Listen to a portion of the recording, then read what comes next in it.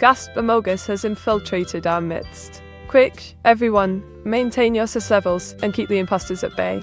Or perhaps, embrace the chaos and let the Amogus antics commence. Mate is the Amogus. Oh, Afrozi, must you bring that? That dame? Sigh. Alright, alright. For the record, I am definitely not the Amogus.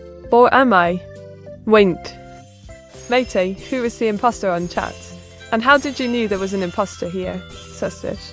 Pomba Mandak, you troublesome chatter, asking all them questions. As if I'd spill the beans so easily. Just keep an eye out and play along. We'll suss out that Sizja Buster together. Mate, did you just vent?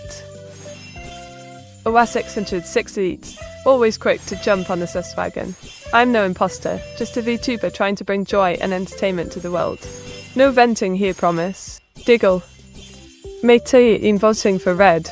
They look sus. Ah, Rosie, you can't be serious. I'm innocent as a daffodil on a sunny day.